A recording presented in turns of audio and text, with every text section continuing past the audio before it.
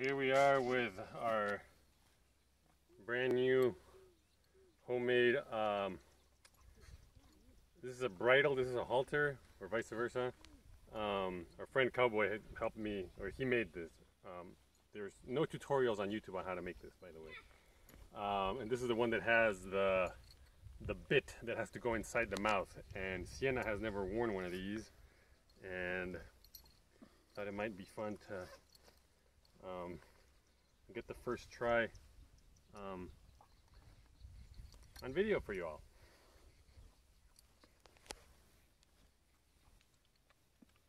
I'm just trying to get her used to this, which in the past she's she's been a little bit familiar with this. Um, before I try to put it in her mouth. Okay, I think I'm gonna try it now.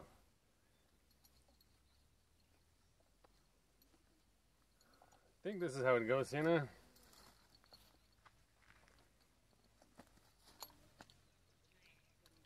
What's the difference between the one that she has and the other one? Oh, this is not uh, Oh. Um, that this one has the. Well, it went in, but it's not the right size. Oh, it's too Um, small. Which there's an adjustment here, but it's kind of these knots are.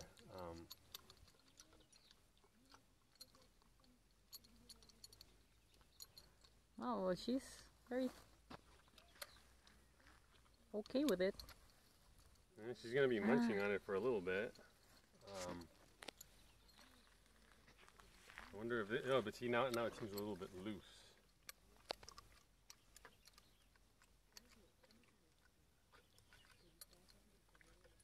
Oh, she has a, okay, I get it. She, it has a, Like the, the metal The part metal is part. inside her mouth, which is what you need when you're writing it. This is what you use to like yeah, make her turn it. this way or make so like the reins are tied to here Mm-hmm. to these metal loops. Well, that was um, That's great. that was That's fine. successful, Sienna. But now you still have to tie it. Oh, which Martin said, yeah, it might be too long. And I still have to have a cowboy actually check this and see if it's uh, if this is the right. Um, how is this? You know, is this tight or not tight enough? Or yeah, I don't know which which parts need to be um, tight or loose. But I'm actually gonna take her probably like this to the cowboy, and he can help me um, figure that out. All right, success, success in that we've done a good job at taming her and building trust, and that was so easy. This is good. This is good. We're going good. We're going looking good. Looking good. You like Tina?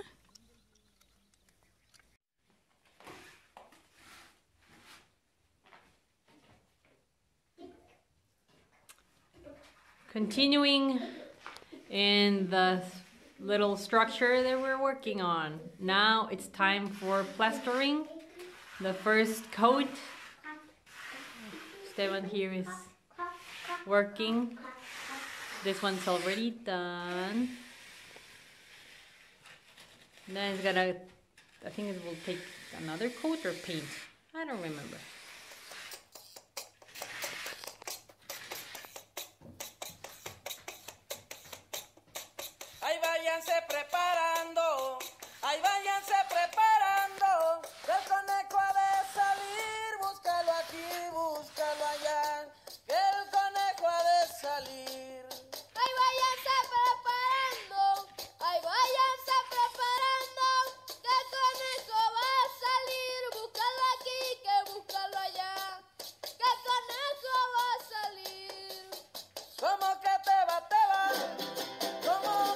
Como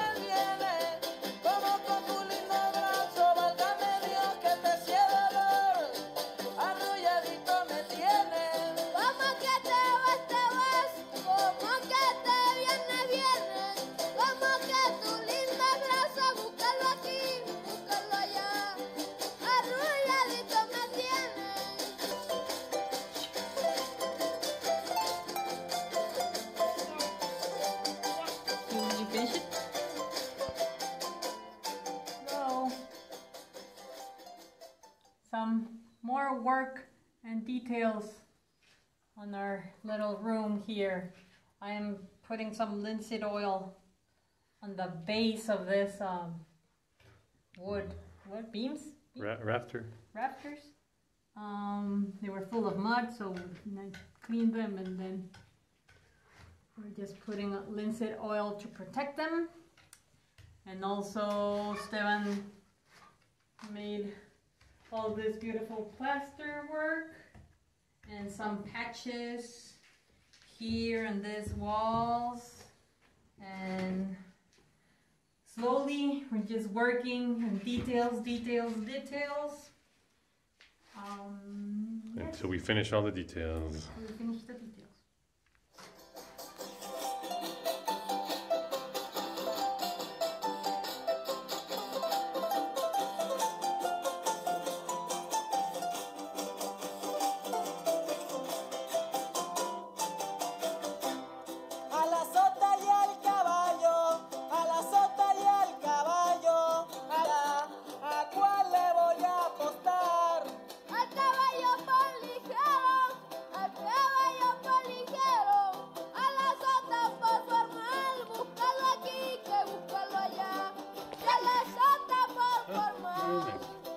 hello everybody It's October. it's october and the season has started of making Sauerkraut. sauerkraut and yes we always have a video of making sauerkraut because we like it a lot and well that's the season Welcome probiotics. welcome natural Welcome probiotics vitamin C. and vitamin c Welcome lactobacilli into our guts. Um this time we're well we're gonna make uh, like always a cabbage and carrots and algae Algae from Yashi. oh yes thank you Thanks, joshi Yashi. and some um, chiltepines, Sonoran chiles. From the desert. Thank you, desert. Yes. So yes, we're very excited because this season had started, and yes, we like it. Woohoo! Howdy. We're gonna fire up the, the the oven today, and it's gonna be the first firing of the season. And sometimes I put uh, the firewood in there just to keep it dry. And I'm taking it out, and we're finding this weird, weird substance on some of these pieces of wood.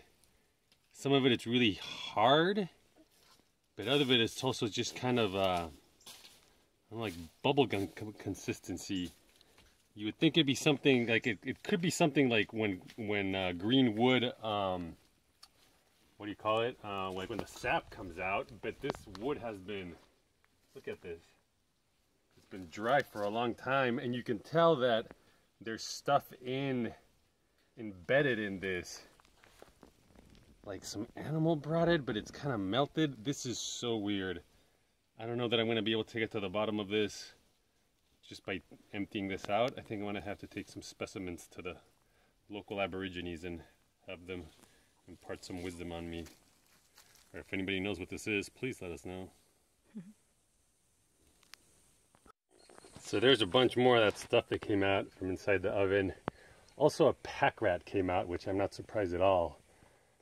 I assume that it's a pack rat that collected this, but guess it collected it in a state that was kind of mushy and then it turned solid in here. I'm trying to think of if I have any materials or glues or anything like that that they might have gotten into, but I just cannot come up with anything. This is a real mystery. So I don't know how many weeks it's been, but it's been like three weeks or something um, that I happened upon those things you just saw. And today I was cleaning around this wire, and lo and behold, look what I find stuck to this prickly pear pad right here. And it's just one, and it was just kind of stuck on there. And this is exactly what was in the earthen oven. I wonder what the there's ants on my feet. Um, what the pack rats wanted with this. Um, There you go. Okay, yeah, focus. I don't know what the pack rats wanted with this, but um, they sure had a lot of it. And I mean, it left these holes here in the prickly pear. It doesn't seem like it doesn't seem like it's rotting, but it also doesn't seem like it's a good thing. So that means that our prickly pear pads from over there are probably full of these holes.